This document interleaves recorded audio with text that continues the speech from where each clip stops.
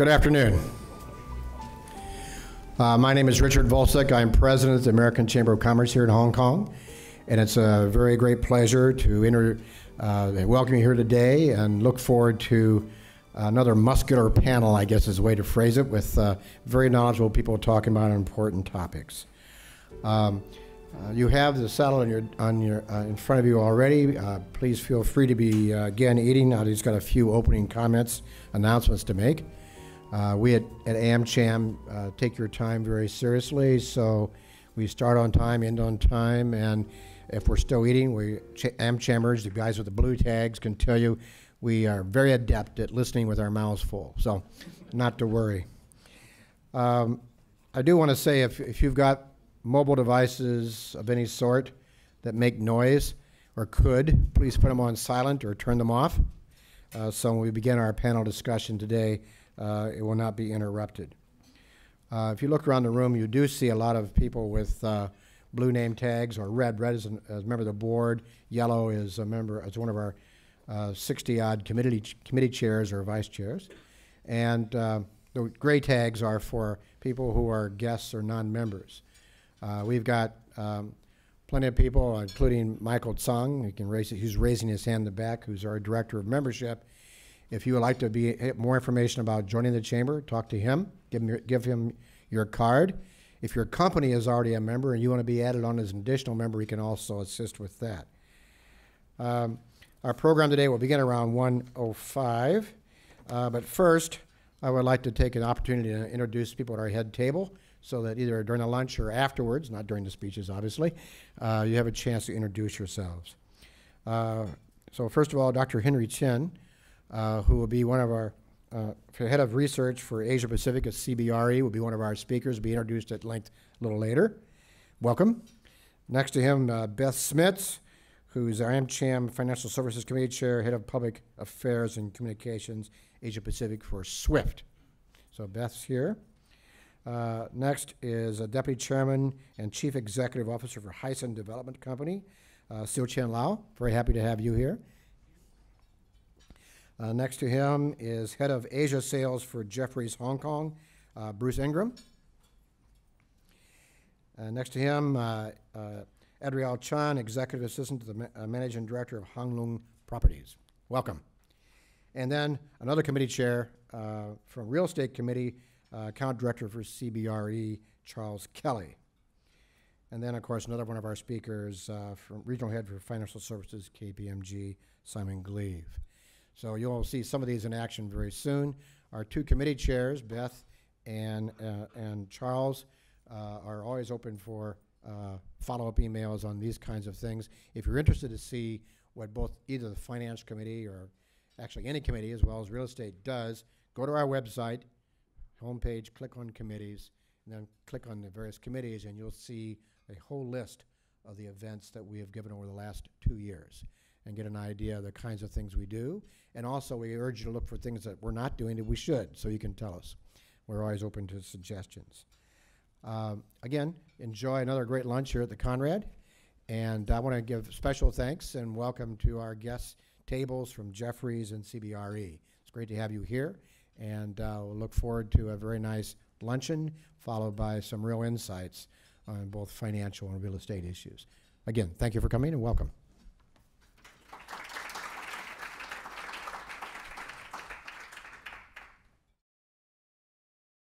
Just wanted to uh, say thanks uh, to everyone for attending today, um, and a special thanks to Richard and the the AmCham uh, committee or event committee for setting this up. Uh, and, and I'm here to introduce our speakers. Now, I, I know um, while there's currently quite a bit of focus on Brazil at the moment with the, the World Cup finishing and the uh, uh, BRICS summit commencing, um, very much appreciate uh, everyone's willingness and, and, hopefully eagerness at um, shifting your attention back, back to China for a bit. Um, and if any of you were or are an avid uh, football fan and were I guess, uh, eager enough to, to watch the game this morning, please feel free to ask for a second cup of coffee. Um, don't, don't want you to, to miss what our uh, very experienced uh, speakers have to say today. Uh, my name is Charles Kelly. Uh, I am the chair of the real estate uh, real estate committee for the AmCham.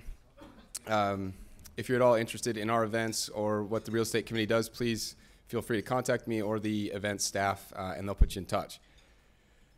Uh, without further ado, I'd like to introduce uh, both of our speakers, Mr. Simon Gleave and Dr. Henry Chin. Have guys come on up and have a seat.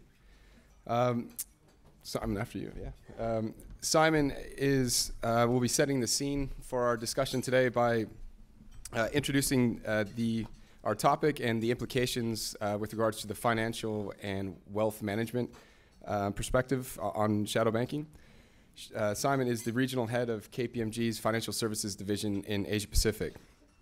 Uh, to provide, provide, a bit more background about Simon, other than the fact that I found out he's, he's a, a keen cyclist and, and world traveler, uh, he has worked in Beijing since 2001 and has been involved in several landmark IPOs, namely uh, the China Construction Bank, uh, China CITIC Bank, and most notably, or most recently, uh, the China Everbright Bank IPO.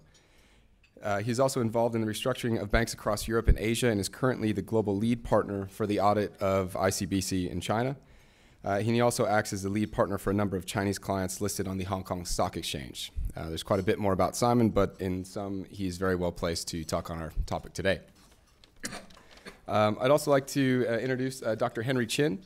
Um, for today's session, Henry will pick up where Simon leaves off uh, and um, discuss the impacts of shadow banking on the real estate environment in China. Uh, based in Hong Kong, Henry leads uh, research for CBRE across Asia Pacific. Uh, prior to joining CBRE, Henry was the head of APAC research for Pramerica Real Estate Investors. And before that, um, before his time with Pramerica, he was with, um, I guess, several different roles for, for Deutsche Bank. Uh, Henry is very active in the community and education. Um, a few examples of this include uh, he's an assistant professor at National Taipei University, a guest lecturer at Oxford Brookes University, a guest speaker at Hong Kong University, and a chairman of ANREV's uh, research committee. So that's a quick um, snapshot of our speakers. The format uh, for today's discussion will be um, getting views from Simon first, uh, which will be shortly followed by Henry. Uh, and then we'll close out with uh, hopefully a very uh, active discussion or Q&A session, which will be led by Beth Smits, uh, who chairs our Financial Services Committee. So I'd please ask for everyone to save your questions for the end. And now over to Simon. Simon. Okay. Um, look, it's a real pleasure to be here. It's uh, it's a lot cooler here than Beijing today. Um, it was 43 degrees uh, last week, so um, in case you're feeling hot, come visit. Um, the, the, uh, I'm going to do a really quick romp through the credit markets this year and what's happening. And we've got 15 minutes each, but please ask any questions you have about what's going on. Just, to, just to make it clear, China's in a very big transition at the moment between different types of uh, financing the economy. When I went there, about 95% of all new financing in China was through the banks back in 2000. Um, and that has changed, and recently we're into this phase now of banks and alternative credit markets beginning to develop and finance the economy. And if you look at it, about 50% of new capital formation in China now is from non bank sources. So this is an enormous change in just uh, 15 years. Um, the future, which is what all the reforms are about, and which I'm sure I'll be talking to you guys in the future about, is about the development of real credit markets, um, market pricing of, of interest rates, market pricing of the capital markets, and so forth. So we're in a, in, in a great transition. Um, it is actually really quite vital we get it right because you can't finance a consumer market economy using government directed financing. You have to have market financing to be efficient in capital. So there's a lot of conversations I have with economists about the inefficiencies of capital allocation in China, and that is a symptom of where we are today. So this is the big question the government's got to get through is how do we finance our economy efficiently um, we have some very high debt ratios, so our return on investment at the moment is regarded as being um, very inefficient. So that, that's roughly where we are. Um, now, you can see very clearly if you look at what we call total social financing. Now, just to emphasize, this is a China specific number. This does not exist in normal economies. Um, the Chinese invented it as a way of trying to assess total financing in the economy. Not that long ago, by the way. But you can easily see if you go over the left side, um, 2002, the red is bank lending. And you can see financing of all the growth in the economy is from the banks. And they're state owned. So this is government directed financing. And bear in mind that the banks are still state owned, and most of that lending is still concentrated towards the state institutions, the state companies. So the private sector in China, which is estimated at about half the economy now, um, struggles to get financing from the banks, and still does, by the way. I mean, it still struggles to get it. There are targets for the banks to actually lend to, to small companies, but essentially they're still pushing the money out to the, the state companies. But on the right, where we are today, you can see a very different mixture of, of where financing is coming from. So this is this is you can see it in the numbers where it's come from, and if you look at the latest numbers, this is this year's numbers out of the PBOC. You can see the new fin- this is new financing. It's not total financing. It's new financing this year. So in, in the first quarter, you can see where the new financing came from, and most of it is still coming from from bank lending. But we've got a lot coming from entrusted loans, from trust loans, corporate bonds, and so forth. So there's now a range of financing available, and it's growing and changing. Um, the key issue to me is the speed of change is possibly faster than the speed of risk management. And I have a great concern about the fact that bank lending is now transparent. We have bank accounts. Most of the banks, uh, the big banks anyway, are listed in Hong Kong as well. Um, we produce international financial information. We've got all the disclosures on NPLs. The rest of the sector, there is no disclosure of NPLs. You have no idea of the credit quality of shadow banking. And I think that is the fundamental problem we face in understanding this market. So failures you only see in the Chinese newspapers when somebody's complained, the government's getting upset. Um, we had a, a, case, we've had two cases in Shaanxi province this year. One involved ICBC, one didn't. Um, you only get anecdotes. There is no statistics. So if you are going to a, a trust company and you're buying a wealth management product, you don't know what, how they perform. You don't know if this is a good trust company. You don't get the data. Um, so overall, now half of the financing of the economy is coming in the shadow world with shadow information. That, that's the danger. So we don't know if risk is being managed or not. And um, that causes a lot of conspiracies and conspiracy theories. Um, I don't discount all of them, by the way, because I do see that there's a lot of risk. Um, some of them are quite extreme. Some people say, you know, China's just full of bad debts. That's not true. On the other hand, I can't prove it. So there's a problem. Um, but uh, just put a few things in perspective. Um, this shows you some of the, the world's major economies. Formal banking's in dark blue, shadow banking in light blue. Um, and you can see China doesn't have a particularly big shadow banking sector compared to even global advanced economies. The UK is the most crazy economy when it comes to banking. Um, London is just a big financial centre. Um, most of that financing isn't used in the UK, so it's it's pan European and pan global. But it shows you that well, I don't think overall as a macro economy we're in a danger zone. On the other hand, we're trying to get there really fast. So if we don't fix the transparency, we don't fix the risk management now, there's a lot of danger coming down the line. So so that's that's the issue I think. But also, this is a percentage of the total credit system. The trouble is China's credit system is significantly bigger than the UK's. So the bank I'm dealing with, which you'll see the results from at the end of August, they have over 3 trillion US dollars of assets now. That puts them up number one in the world by assets. So Chinese banks have hit a point, they're now the biggest institutions on the planet, and they're growing very fast. So the growth rates this year in the big banks are about 5 to 8%. European banks are shrinking, American banks are growing 1 or 2%. Chinese institutions are going to take over the world if they keep this up. So we're in a very interesting and transition, and you begin to see what's happening. So, a few warnings for the half year in case any of you guys are bank analysts.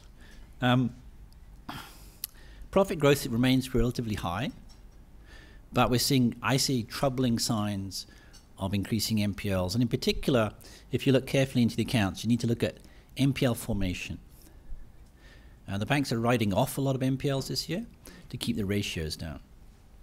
So if you look through the accounts in detail, you'll see it's all about NPL formation this year, and particularly overdues. You'll see very large increases in overdues of, of lending this year. So we're into a troubling overall, um, I would say, loan credit environment. On top of that, suddenly we have lots of shadow banks as well. So it is uh, at the highest level of risk I've seen in 15 years in China. Um, and so it was interesting to see how it develops over the next few years. The one thing that's good about the banks, though, is that capital ratios remain very strong. The regulator keeps them high. Shadow banks don't have the same sort of capital. Trust companies have very little capital. Um, so there's nothing behind those products. All the risk sits with the economy and the individuals. So there, there's no buffer. Okay, so bear that in mind as well. So if a trust product fails, your chances of recovery are pretty limited. Um, so it's interesting to me to see that, you know, generally speaking, the return on trust products is a lot higher than your bank deposits, a lot higher than your time deposits in the bank, and yet the failure rate that we can see anecdotally is very low. I think about five products have failed this year. There are thousands of failing loans. So something is keeping this sector afloat in a way. Maybe Henry's going to explain what he thinks, but something is keeping it afloat, and I suspect it's government liquidity. So I think we're seeing artificially low levels of failure um, to keep confidence up, to try and ensure that people keep investing. So we're in a very dangerous situation, and the government's running a, a, a, bit of a tightrope over this year to try and get this right. Um, but just think, the, and people say to me, why are they doing it? It's easy. If we want the economy to grow 7.5%, we need to create financing for that. And about half that financing is currently coming from the shadow banking sector. If we lose confidence in that sector, how are we going to finance the economy? And so, therefore, if we have a crash in financing, the private sector in particular will have a crash, and that's bad for economic growth. So, they've got to keep confidence up. But then it's the dangerous game to play. Um, a couple of numbers for you for the banks, just to, to show you what's happening. Um, in the first quarter, the listed banks, 13 out of 16 had increasing NPLs. The other three had flat NPLs. Okay, and that's managed ratios because they wrote off a lot of bad debts. Um, total loans increased, but provision coverages, provision to loan ratios have, have decreased a bit. So you're beginning to see some stresses appearing in the banking sector. Um, but we don't have similar data overall for the, the, shadow banking sector. So my assumption is it should be the same or worse um, because it's high risk. Um, just to clarify a couple of things, um, the banks issue a lot of alternative financial products. Um, now, wealth management products in the banks are included in shadow banking. Uh, they're not on the bank's balance sheets. These are off balance sheet. Um, they are all new assets originated by the bank and, and, purchased by customers. So the only time they get onto the balance sheet of the bank is if, in the, the repurchase cycle of them, um, they don't resell them. So, of the sort of 14 trillion or so, now that's a pretty big number, uh, around about 2 trillion sit on the balance sheets of the banks because the banks have had to purchase them back because of maturity, and they hold liquidity um, provisions to do that. But about 12 trillion sits off balance sheet. And that 12 trillion, you do not see the failure. So you don't see this disclosed in the bank's NPLs. They disclose the total. Some banks disclose the total, um, others don't. And now this morning you would have seen in the paper that the CBRC is putting in place much stricter rules about how the banks manage these assets. But that's a very big number. And it's been created only in about five years. So it's a huge new market. Um, when you look at the alternative financial sector, shadow banking is a kind of broad term. These are the principal things in China at the moment, and I'm leaving it up to Henry to talk about. But I want to talk about the two at the bottom, which are relatively new: the fintech funds and the P2P lending. Um, just before that, there's a lot of regulation on shadow banking. Um, it's constantly coming out. Um, so this is what until this morning, because there's another one to slot in now for this morning as well. Um, but you can see, th- so the regulator is constantly looking at this sector, trying to bring standards up. Um, so there's constant new stuff coming out. So I get asked a lot of questions about this, um, what they all relate to. But basically, it's improving risk management, it's trying to improve, say, the selling process to, to customers and so forth. Um, but the regulator is scrambling, in my mind, to catch up with what's happening in the market. Okay, fintech funds. I just want to talk briefly I have never seen a financial product grow this fast. So um, it's 541 billion RMB over two years, or 18 months roughly. Zero to that in 18 months. Now, just to clarify, this is not really shadow banking because what's actually happening here is the funds are coming out of people's bank deposits on their smartphones. You can put in like 2,000 RMB a day. Um, so if, you, if you're very quick, you can get a lot of these, but I'm, I'm not good at that. Um, but the, the fund is reinvested back into banks. So all this is actually doing is improving the yield to the depositor. So it goes back into wholesale funding. So this isn't really financing the real economy. It's just a means of taking the yield away from the banks and giving it to the customers, which is why the big banks really do not like this. And if you mention it to the chairman of ICBC, he tends to go a bit red um, because they're losing money over it. So the customer's are just getting enhanced yield. Um, then the, the P2P platforms. Now, this is amazing. There's 350 already in existence. And I was with the, uh, the guy who set up CreditEase uh, last month talking about it. Um, and so the range of transactions, the type of products is amazing, very, very fast. So this is what happens when you can use the internet and replicate what they've done in the States and replicate what they've done elsewhere. And if you think you have no information about wealth management products, you have none about this. Okay? Just trying to find any information about this is impossible. Um, I don't believe that the total is that at all. I, I mean, this is just guesses we're getting from, from people analyzing and, and guessing. So um, I think this will start being regulated very quickly, although it is all private lending in theory. But it's great. It is growing very fast, and it's kind of out of control. If we've got 350 platforms, I mean, we've only got just over 100 banks in China. So, so you know, you can see the speed of change. Um, but if you look at the bottom one, it's uh, Ping An Group, which is a financial, insurance, banking, asset management group. So they're they're actually trying to sort of use this platform. They're the first of the big institutions to try and use it, um, and actually, it's being pretty successful uh, as a way it means it. So I think you'll see a lot more of this in the next few years as well. So rapidly changing environment um, and unknown risks. So with that, I'll pass over to Henry.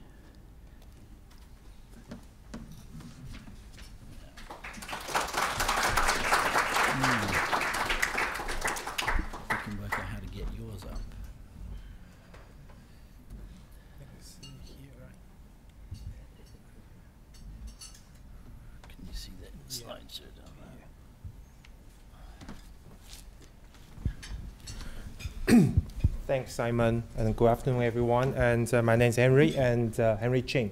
And uh, I'm here to talk about, you know, the implication for real estate markets. If you haven't seen this report, I encourage you to go to our website to download the paper. You know, I'm going to just go through our findings in the next 15, 20 minutes. And then, you know, if there's some question I can't answer, my colleague Ada Cho is here. She's the mastermind for, the, for this project. Thanks, Ada. And uh, so, so people want to know about China shadow banking. So the next 15 minutes, I'm going to talk about what is shadow banking, why it has been growing so much over the past few years, and what's the implication for real estate market. To start with, we always ask the client, client asks us, how big is the debt market in China? No one seems to know the, the, the, absolute number. Here we can see the total estimate size for the US dollar terms is around 23 trillions is around 140 trillion RMB, which including the public market and the private market. So you can see the public market is around 30 trillion, uh, it's around 27 trillion RMB. And for the private market side, it's about 110 trillion RMBs. So in China, it basically split out. It's 30% or less in the public market, 70% or more on the private market in any mature market, the split should be around 45, 55, or 50, 50. So let's want to tell you how underdeveloped for Chinese public debt markets are. So what is shadow banking? You know, so many different terms about shadow banking. You know, what we define here is anything related to the loans is not from, from the bank in the private market. It's called shadow banking. So there are three major components in the shadow banking system in China. Number one is trust product. Number two is a wealth management product. And number three is underground uh, private lendings. So I'm going to go through each of them briefly. What is a uh, trust product? How big are they? They're around 11 trillion RMBs. Now, what the trust product means, you can syndicate a loan to issue the trust. It could be one trust holder, unit holder, up to 200. So be one to 200. Around 70% of the trust product are the one unit holders. Why is that? Because they want to package so-called loss trust product into the wealth management product. So you can see the wealth management product is around 10 trillion, which is 7 trillion are coming from the trust product loans here. I want also want to mention about trust investment product. It's actually regulated under trust laws as well as supervised by CBRC. However, the, the, the, wealth management product, we haven't got a very clear, Probably Simon correct me if I'm wrong, we haven't got a very clear guidance on that, who is actually overseeing the wealth management product here. So you can see it's around 10 trillion, which is sell to the retail investors. A final part is underground landings. No one actually knows how big they are. That's a problem. So, you know, the source, you know, we think that we saw the various estimate is around 60 trillion, 16 trillion RMBs here. So that gives you some parameters of what is the shadow banking, who are they, and what they are. This chart just will show you the growth of the, the, the trust product over the past six, seven years. You can see the mutual fund hasn't got any growth over the past six years. So why is that? Because most of mutual fund are investing domestic uh, companies, domestic things. They can't go offshore. So that's why we haven't seen the growth in the mutual fund industry. But you can see that insurance had a good run for the last six, you know, seven years. But the strongest growth is not coming from the insurance AUM. It's actually coming from the trust product. You can see from 2007, it's only around 1 trillion RMB for AUM. You can see now 2013 by the end of last year is 11 trillions. So within the seven years, the AU has been increased 10 times and even you know bigger than the insurance AUM. So that's a staggering growth over the past six years. So now I want to move on to why uh, shadow banking uh, grow so much, so fast over the past six years. To start with, why? There's three reasons here I want to tell you why. Number one, we are trying to fill the gap for traditional bank lending industries. You know, Chinese bank lending is very, very regulated by the government. You know, they follow by government's policies, sentiments there. As a result, we can see domestic banks are extremely reluctant to lend to small, medium enterprises. And all the Chinese banks in, in, the, in the past is a lack of a comprehensive credit system. They got a poor underwrite, underwriting process. As a result, causes so many problems. So small media enterprises, they can't get the money from the bank. They have to go to the shadow banking system to get their loans. Number two, it's, it's a capital market. It's relatively immature. You know, the size of a corporate bonds in China is only around 16% of the China GDP. Give a references for the US market, very mature, it's around 60% of the US GDP. So that tells you it's a lot of room to grow for, for China. And also, there's a rules in the China corporate loans is you cannot issue the corporate coupon higher than 40% of the base rate. So they got a cap there. That's the result. No, no much incentive for them to issue this. And for the IPO market, you can see over the past 20 years, the government has stopped IPO activities eight times. Eight times. That just tell you it's crazy. You know, for the any freedom economies, we don't see that. So that's why it's relatively immature capital market. The third thing is excess liquidities you know, get so much liquidity in, around the system. Money supply is ahead of market fund, uh, uh, fundamental GDP growth. No much, no much investment product for those retail investors. As a result, they need to find some alternative products to give you the higher returns. This chart just want to share with you what the money supply versus the GDP growth. You can see over the past 14 years, you know, GDP growth is around 9.8 percent but the M2 border definition of a money supply is around 18% per annum. So nearly double, nearly double. So that tells you so much liquidity in the system. As a result, the investors need to find higher returns for their money. They need to find the better return to inflation hedge. Don't forget that Chinese uh, inflation traditionally has been very high, only recently got a 3 to 4%, but in the past got to 6 to 7%. So they need to have a higher returns to the hedge the money, inflation. So you can see here I want to share with you is average return for 2013. if you invested into the stock market in Shanghai last year, you actually make ne- make negative 6.7% of returns. Not attractive. If you go to the deposit or buying the you know the government bond up to five years deposit, you only get return for 4.8. If you got a one year, three months, six months deposit, you get less than 3% of return interest rate. As a result, it's not very attractive. That's why the investors are going to the trust product, which offer you last year 7% of returns.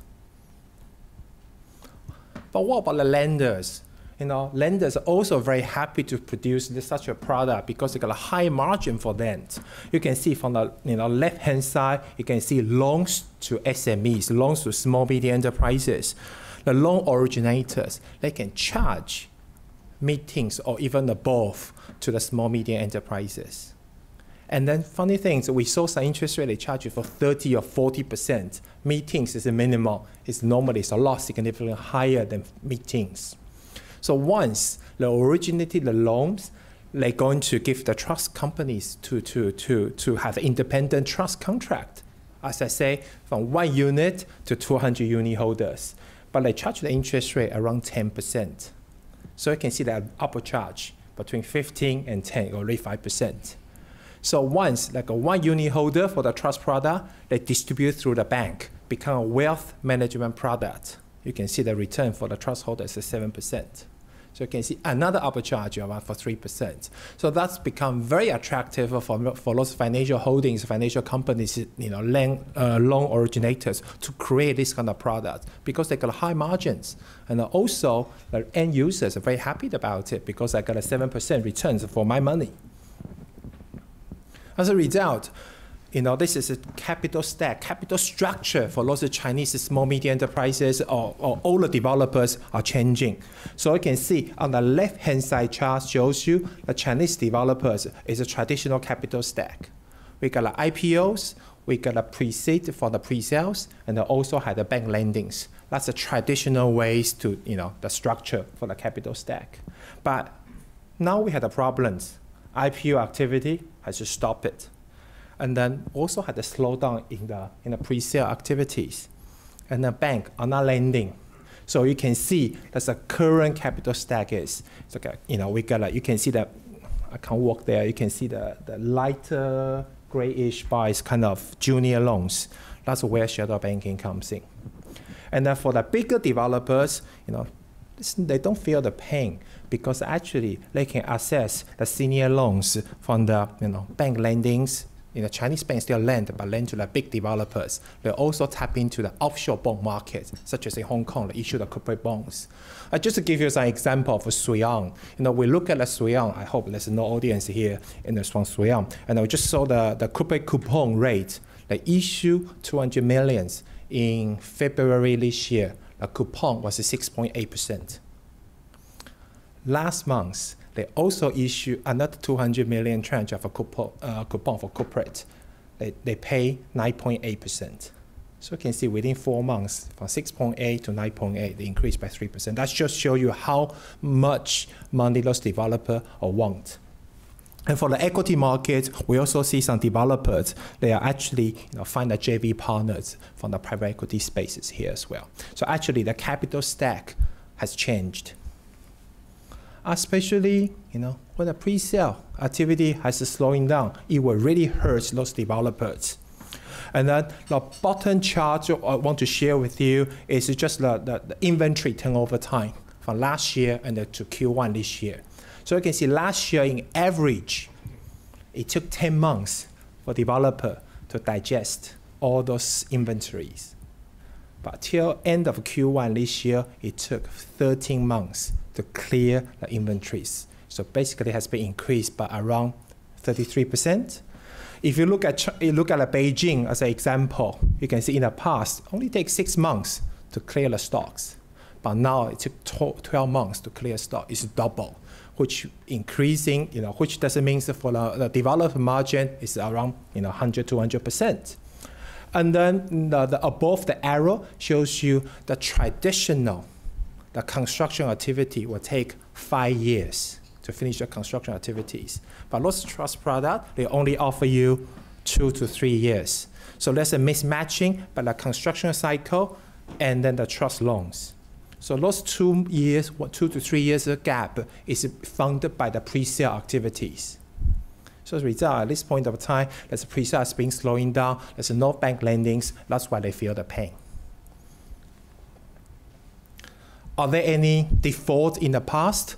We all know about it. You know, there were defaults this year in 2014. You can see the last two dots. In March 2014, we saw some Zhejiang developer default and May 2014 and Shenzhen developer default.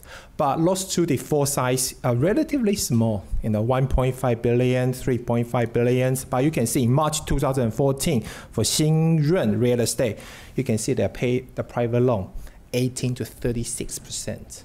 That's that's the scary numbers here. And then, but one of the problem for those two developer uh, when default is the mismatch for the product. So what they build, they build a luxury villa in those small you know, villages. So that's a mismatch for the product. Of course, they're going to have an increasing risk of default, and they defaulted as well. And then you can see in 1999, the most famous case is the Guangdong uh, GITIC. It's a government-backed uh, companies that went for default. Uh, because they got so many development projects, they just can't deliver. And you can see they, they had nearly 40 billions of debt, but they only had the 20 billions of asset there. Because of that, so in 2001, Chinese government actually implemented and the various measures to clear the trust sectors. So you can see during that period, two years period, you can see the trust sector was up for 26, 200, 200 trust sectors down to 60. So you can see, you know, have, going through a lot of bankruptcies, a lot of consolidation periods during the period of time. Also, the trustee loan as well as the, the four AMC companies has been formed during the period of time. So those are four AMC company. One of them are very, you know, four of them are very successful. Even one of them are listed in Hong Kong. So they do have the, you know, the AMC company to deal with those NPLs in China. So what CBRE believe for China residential market, real estate market?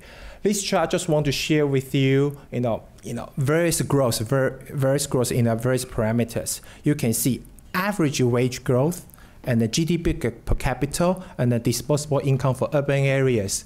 The growth ratio is well above 10%. It's well above 10%. But you see the red line here, it shows you the nationwide residential selling price growth from 1995 to 2013 is around 7.8%. As a result, we do believe and there's still a room to grow in the long, longer terms. However, we do have a bumpy road in the short term here as well. Unlike the, the Americans, unlike the European peers, the gearing ratio for Chinese are, tend to be very low. So you can see from 1998 until now, the average is around 32% for gearing ratios. At this point of time, our gearing ratio is 23%. So the Chinese housing price can afford some drop, some consolidation, some you know in the in the short time because our gearing ratio is relatively low. For Chinese, you go to in China, you want to go to residential market. Number one issue you should pay attention to is the policies. And we believe a policy plays an important part. And especially for the Chinese government, they are trying to encourage the first home buyers. So they are creating the liquidity for the end users, real end users, not for the you know speculative activities, you know, that, that kind of investors. So you can see, you know, they encourage the bank to lend the money. They also, you know, release the liquidity by reducing the required reserve ratio to the bank to do that. However, for example, in Shanghai, in Beijing, the government also trying to restrict the hukou. So they don't give you the hukou. You can't buy the property because those two cities' property prices are too high. They try to cooling down. They try to cut the demand there. So there's a very positive and negative policy to influence the residential market. So that's what we said. When you go to the market, the end product is very important. You also need to understand the domestic policies there. So what CBRE thinks here is to summarize what we think. You know, actually, the China shadow banking, the size isn't a problem. The problem, there's a two problem there. Number one, it's under, you know, there's no many regulated activities there. No one knows how big they are. Number two is the growth ratio.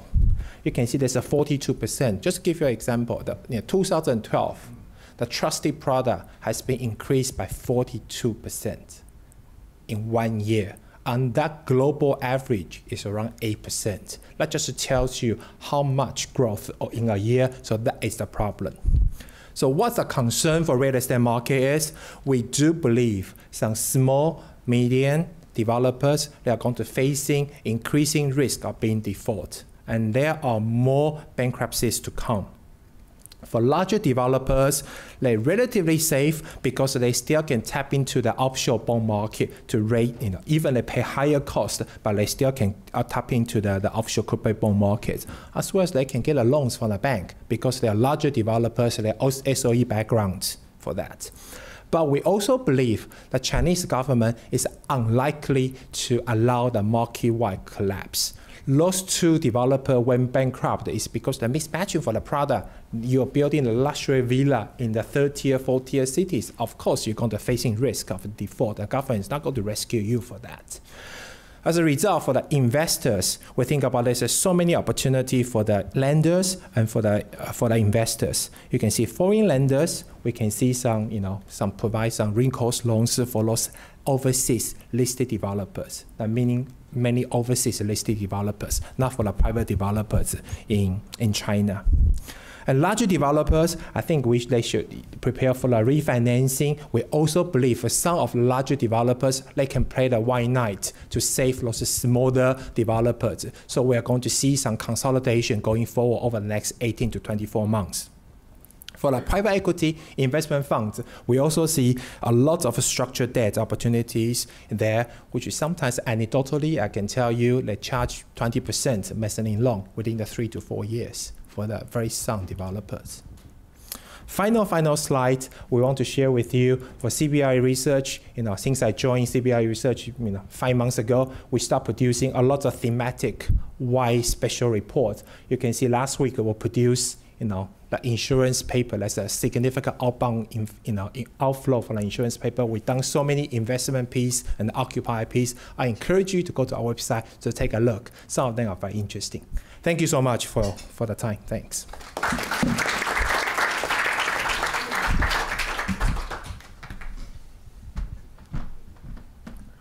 Terrific. Thank you, gentlemen. Um, good to have both perspectives here from um, and, and look at the industry itself in um, the real estate impacts. Um, I've got questions, but it's your turn to ask questions. Um, so I'm going to open up the floor.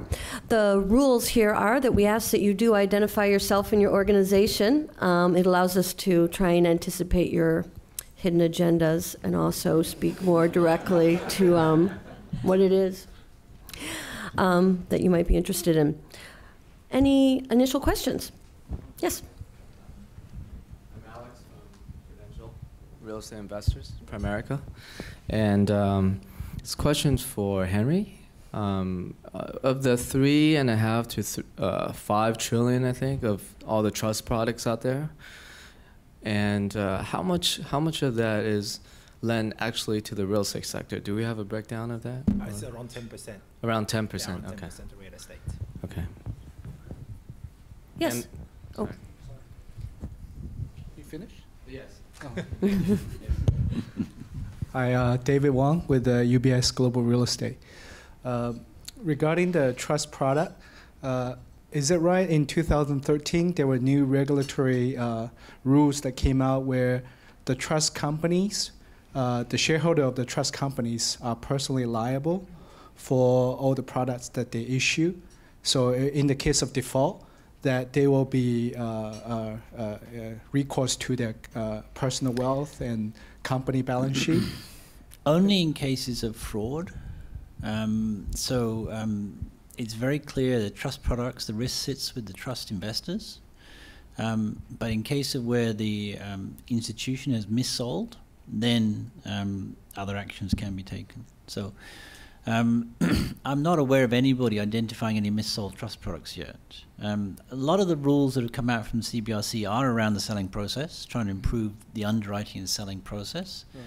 Um, but it, it's it's certainly the case that to date they and they're emphasizing very strongly all wealth management products, both trust and bank, the risk sits with the investors, and you only have recourse in the case of fraud or mis-selling, and that's it.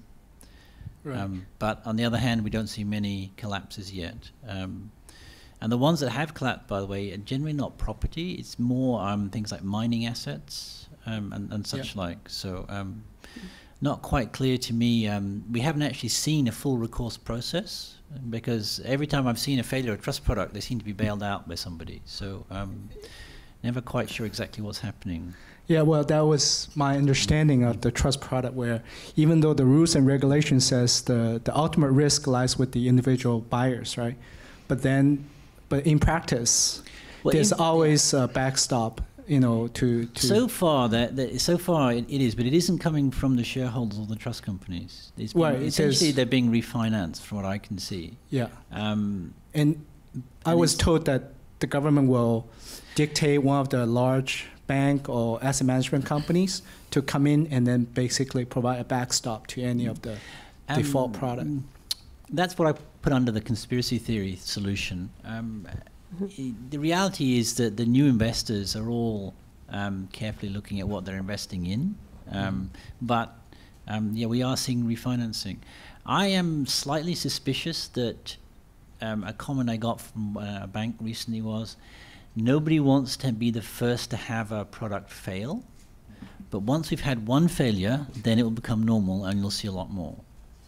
and I was a bit suspicious about is he warning me not to buy any of his trust products or is he. Um, but I think we will start to see failures this year um, because you can't keep bailing out.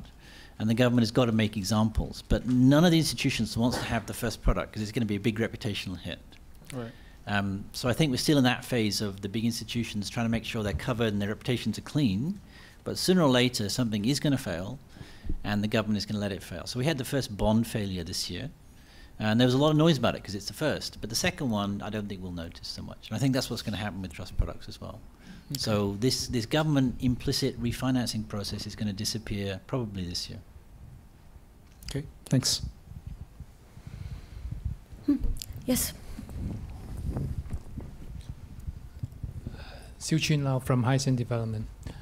Um, Simon and uh, Henry, you've given us a, a picture of what's going on in China right now uh, on the finance side and the real estate side. Presumably, I think China, Chinese government will also notice all these problems. And on the regulatory side, uh, they must be thinking about something, uh, how to sort of deal with this situation. And yet, from the market point of view, we still we still see a, a, a lot of skepticism on the China's side. Is it a problem of what we don't believe, what they thought or they said they're going to do, or what we we are skeptical that they cannot do what they wanted to do? Or why still the market is so skeptical of what is uh, the situation in China, and that is so pessimistic pessimistic about what what what they what we feel the situation is going to be. Um, I, I think, well, first of all, there's a lot of regulation coming out. Um, it is all based around improving risk management and um, selling processes um, in trusts and in banks. So, so you know, the announcement this morning, well, over the weekend from CBRC was banks have to ring fence their wealth management products, manage them independently, and so forth. Um, but these are all, to my mind, regulations in reaction to the very rapid growth of the sector. Um, and the sector is outpaced and is continuing to outpace regulation. So the problem is that we're all very suspicious because we have no transparent information about all these products. We don't understand the risks of them. Um, if you ever look through a trust product contract, by the way, it's kind of thin. Chinese law tends to be a bit like that. Um, and so everybody is very, very suspicious of the risks. And I think we're right to be suspicious because we can't see um, transparency in the sector. Um, we're also still very suspicious of the banks having huge amounts of bad loans, even though they are transparent. So even once the sector becomes more transparent, and it will come because I'm discussing with the regulators about how you can create transparency in shadow banking. Um, but I think it's going to be a long time before we're all satisfied um, about China because we're always very suspicious about China and statistics. Um, You know, it's just one of those things. So I don't think China has created a reputation for openness and transparency that will allow investors to have faith in things. So there's always that suspicion that things are being hidden, that things are much worse than they say, and that goes on. So I, I'm, I think it's going to continue. Um, but as I said, you know, if the only way you can find out about failed trust products is if there is an anecdote in the newspaper in China, it gives you a reason to understand that this is, first of all, it's a very, very private market. Um, and as investors, we don't like that. We like to understand the risks of, of assets we're buying. Um, I think a lot of it is purely driven by speculation in the past from investors because they're just so dissatisfied with the low interest rates they got out of the banks. And with very limited sources of investment in China, this has been a, a fantastically good way of suddenly getting real, um, you know, value out of your investments. But you're doing so in, in a very difficult um, knowledge market, lack of knowledge about the risks. So it's speculation. Um, now, whether we can manage a nice transition into into good risk management and transparency, or whether we get collapse is the question.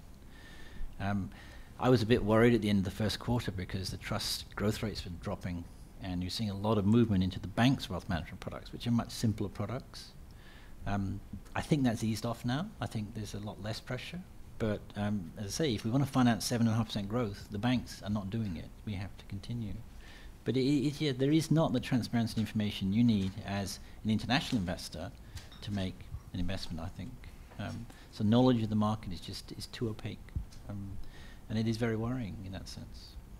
I think if you look at, uh, you know, I always said uh, in the China shadow banking system, it's coming from the liquidity. There's so much money supply coming to the system. And then we see that recently, you know, over the past few years, the QDII quota has been increased, right? And also recently they're going to the QDLP. So they actually give the retail investors some chance to invest in overseas, you know, financial product, which is not going to contain within the Chinese system. That might be one of the solutions of diverting those liquidity offshore. And then just to give you some from the, from the real estate point of view, and then just give you some uh, anecdotal stories. In 2012, the Chinese buying 130 billion of uh, the real estate in 130 million, sorry, 130 millions of real estate in the U.S. 2012. And 2013 is 260 million uh, uh, residential uh, transaction in the U.S. Just to give you the flavor, how much money has been flowing to the to the offshore market as well. And also, we see some insurance monies offshore. They're going to invest overseas for the real estate. That's purely from the real estate, real estate point of view. So like a more relax, relax, relaxation of the laws for those capital going offshore instead of within the Chinese system, which create a demand for the trust products. Hmm. Yes. Um, how far do you, uh, Conor O'Mara, Jefferies, how far do you think Tencent and Alibaba will be allowed to go within financial services? So you, you mentioned how big, excuse me, the, the money market fund has become, I'm, I'm sure you know Tianhong is now the largest money manager in China within 18 months. And it seems like that investor base fulfills two needs. First of all, on the consumer side, it's getting people who can't actually set up bank accounts because they don't have the minimum amount of money. And then another thing you were talking about was SMEs not getting financing. And that's where a lot of the demand seems to be coming from as well. People with Alipay accounts, merchants actually getting financing. So it seems to fulfill, fulfill two social needs. But obviously, the banks hate this, as you mentioned. They've put pressure on PBOC, and now PBOC's beginning to react. So where do you think we're going to end up? Are Tencent and um, it, it's very easy. First of all, they have applied and been offered the chance to open banks. Um, so um, Tencent is working on an internet bank. They're going to set up this year. Um, the, the great challenge they have is their big advantage is their knowledge of, of their IT, IT in China and the use of smartphone technology and their underlying payment platforms because they've automated the process. So, you know, um, that's why they can deal with very small investors because their, their transactional cost is tiny. But in order to keep that working and ensure that they don't have to create a banking credit skill, they reinvest into very simple money market. Um, but if they want to become more of a service, suddenly they actually have to start making credit decisions and underwriting credit, and that's what they have to have the banking license for. Um, so whether they really want to become fully fledged banks and actually, you know, create um, credit underwriting divisions and so forth, I'm not sure. I think they just basically want to keep it relatively automated in terms of, of the investment process and uh, uh, enable, um, as you say, financing of merchants on their, their site. So I think they're going to be a more of a niche player. I don't think they're going to try and challenge the banks in the banking market, but they need a banking license to expand what they're currently doing. Um, but I think you're right. They they spotted something that the banks have failed to spot, and I think it's just typical of banks. Banks are not great innovators. It's well known across the whole world. Um, but the the reaction of the banks to innovation has been to try and shut it down. But what they should be doing is saying, well, if they can do it, we can do a better product. But they're not. They go straight to the PBOC and say, this is unfair. um, and I can say it's not. It's hardly unfair. They're just doing something very simple with technology. But banks aren't great innovators. So I'm, I'm encouraged to see that the government has said, yes, you can have banking licenses, you can continue to innovate. Uh, we need innovation in the financial sector in China. We have very simple but big banks. So we need innovation, and I think they will deliver it. Whether they start offering, you know, retail mortgages and all that, I don't know. I'm not sure that's the route they're going to take. Um, that would require a lot of, of hiring of staff, and they're not doing that. So I think it's much more they're going to try and create technology banks rather than, than uh, sort of normal commercial banks. Hmm. So, sort of following up on that question, who is going to deal with the SME gap? I mean, Henry, you were saying also in real estate, you know, the large developers are seem to be doing okay, and the, the large investors, and that's sort of the takeaway I, I got from you, Simon. But what about the the, uh, the well, SMEs? there are some. I mean, just for example, Minsheng Bank, based out of Beijing, is specializes in SME lending. Um, CITIC also specializes in SME lending.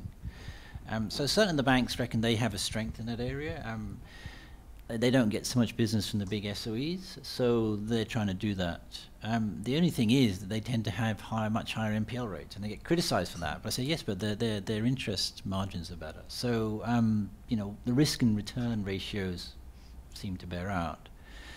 But those institutions are not, not big enough to finance half the economy. That's the, the issue yeah. to me. So that's why trust products are so popular. Um, and so the trust sector has just filled that gap. Um, and very, very quickly. It's quite impressive about how fast it's happened. Um, yes, Richard.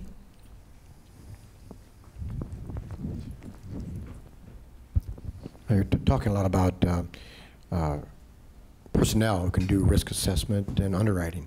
What's happening on the training side? Are there going to are, are there going to are people coming down the pipes that are really can can do it right? What's happening on the educational side? Um, if you look at the big banks and the second tier banks, so the listed banks, which is about 12, I think, um, they have over the last 10 years, I mean, bear in mind in China we invented credit risk management just over 10 years ago. So it, it is incredibly good pace of change. Um, you know, I, I look at vast numbers of loans with my team in the banks we audit, thousands and thousands. And the discrepancy rates between our views and their views over time has decreased immensely. So they have trained um, people who are knowledgeable about lending in China, but it is mainly SOE lending from the big institutions. So I think what you're finding is Chinese bankers understand their market better than foreigners by a long way. Um, but the SME sector, which requires a different approach, which is much more based on um, a whole range of, of understanding of business, because they don't have nice clean accounts in the SME market for you, you know. So your assessment has to be based on a whole range of other factors. Um, and this is where um, I think the banks are struggling a little bit. If you go to the US, for example, um, a lot of the P2P lenders think they're better at assessing SME and small retail credit than banks and they use um, complicated algorithms based on all sorts of things off the off the market to do so. Um, and in fact, there's a couple of P2Ps that are growing very strongly in the states because they don't think, and because American banks feel that they're not good at underwriting to SMEs either. So, I mean, Wells Fargo, for example, regards itself as one of the big SME lenders. Um, and they're being challenged by P2P lenders who say, yeah, but we use a much wider range of underwriting assessments. We're much quicker at originating loans um, and so I, I, think training isn't the solution. The solution is actually to understand how you can use technology to be much more efficient. Because the uh, problem with SME loans is they're small. And you know you can't spend thousands of dollars doing an underwriting assessment. Um, so you need technology to do that. But banks don't seem to be able to, anywhere in the world, don't seem to be able to drive that change in innovation. And so the, the fintech sector in, the US is becoming very strong. And they're focusing on SME, small retail customers, you know, people trying to reorganize their credit cards, all that sort of stuff. And they do it automatically, no people involved. And a credit, you know, assessment comes out and you're offered a loan within, you know, 20 minutes. Um, I can't imagine a Chinese bank offering a loan within 20 minutes. Um, you know, two or three months is pretty normal. Um, Okay, we have time for one more couple questions. Yes? Uh, hi there, Angus from uh, Jefferies. Uh, just a quick one, probably more for you, Simon. Um, outside of the uh, real estate sector, in terms of pending defaults, is there any particular area of the market which you see at higher risk than others? I mean, resources, for instance, or Yeah, definitely. Um, we're seeing um, an increased level of default of all the overcapacity industries in China, so steel, aluminium, um, and so forth, um, which is what you expect in, in, in the, the slowing growth of the economy. Um, certainly, there's also uh, certain regions in the country. So um, there's particularly at the moment um, around the Pearl River Delta a slowdown in growth, so that's affecting NPLs there. Um, again, also in wholesale and distribution, which is again, so basically any sector which is affected by slowing growth is, is coming out with, with new NPLs at the moment. Um, I don't think we're in a credit crisis in China. Would you, what we're just seeing is the effects of slightly slower growth transitioning into those industries which are most affected by slightly slower growth. Um, but just for example, petrochemicals, um, not a problem. Um, you know, we are, you, you know, burning oil as fast as we can, driving our cars and all the rest of it. So, so certain sectors are very strong, um, but other sectors are being hit by the slowdown. I think it, it, it reflects also where we had overinvestment um, in the past. So, for example, we had a lot of government-directed investment in the aluminium sector for a long time, um, and same with copper. And so those uh, that overinvestment is now, you know, coming back to haunt us a little bit. So, um, you know, certainly you're seeing that. Um, I, so yeah, it, it's it's it's it's just more normalizing economy, to be honest. Um, but I always say to people who ask me about, you know, where are all the NPLs in China because there must be lots of bad debts. It says, um, if you have economic growth of over five percent, you create a lot of liquidity, and you don't have many bad debts. So we're still in, a, in an economy which is growing faster than anywhere else in the world as a major economy. Um, so the level of NPLs is not that worrying. But we haven't seen it before in the last you know, 10 or 15 years since we reformed and restructured the financial sector. Uh, but yeah, certain sectors um, have some bad results. Um, I mean, I look at all the industry types across the, the bank I audit, and there's a whole range of NPLs. But just for example, mortgages. Residential property has pretty much the lowest NPL rate I see on the planet. You know, so as Henry said earlier, you know, Chinese investors in, in residential property tend to put in a very small amount of, of mortgage. It's mainly uh, mainly cash, and they're not defaulting. So so you know, if, if I was a bank in China, I just lend on mortgages. It's probably the safest thing to do. Um, but it, it's it's still a you know China is not a, a mature economy, and it's still very much government directed. So sectors which are directed by the government to invest and if the government then gets their, their demand wrong for the future, that's where the problems have started to emerge. Um, Hmm. Okay, yeah. Well, Can I, uh, one no, last s- questions, yeah? I'm going to have to ask you because um, I we are we do keep to schedule, and Grab Richard's giving me the eyes. You can give take him um, afterwards, both of you. I didn't get to ask my question either, so sorry. um, uh, before we before we um, bring as Charles comes up here, I do want to note that some of you might have blue badges, but that means that your company's a member of AmCham, but that doesn't mean that you are um, on the list. And we really do encourage you to um, become one of the, the named members of your of your company. Um, you can get so much out of AmCham beyond um, beyond this, these types of events, which are fabulous. And uh, we really encourage you to become more active in it. What you put in, you get out in spades.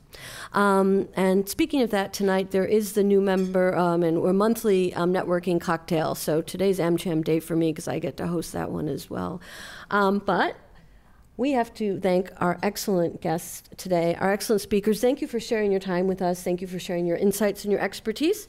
Here's a small token of the AmCham's appreciation. Thank you, Henry. And I'm sure you promised to walk out slowly so everyone could still grab you, right? can grab it. Okay. Thank you.